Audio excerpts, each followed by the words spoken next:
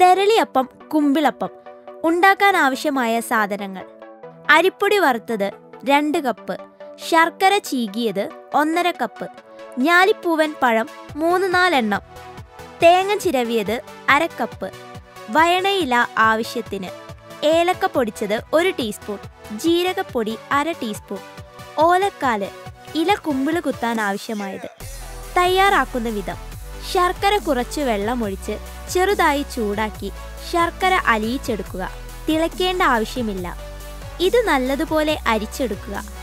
അപ്പോൾ അതിലുള്ള കല്ല് നീങ്ങിക്കിട്ടും അരിപ്പൊടി ചെറുതായി ചൂടാക്കിയെടുക്കുക.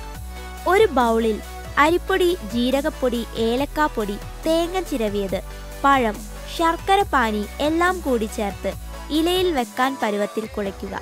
ചപ്പാത്തി മാവിനേക്കാൾ അല്പം കൂടി അയവായി. ഒരു ഇഡ്ഡലി പാത്രത്തിൽ വെള്ളം ചൂടാവാൻ വെക്കുക. കുഴച്ചു വെച്ചിരിക്കുന്ന മാവിൽ നിന്നും ചെറിയ ഉരുളകൾ ഉണ്ടാക്കി ഇത് വയണയില കുമ്പിൾ രൂപത്തിലാക്കി അതിൽ നിറച്ച് ഈർക്കിൽ കൊണ്ട് കുത്തിയെടുക്കുക.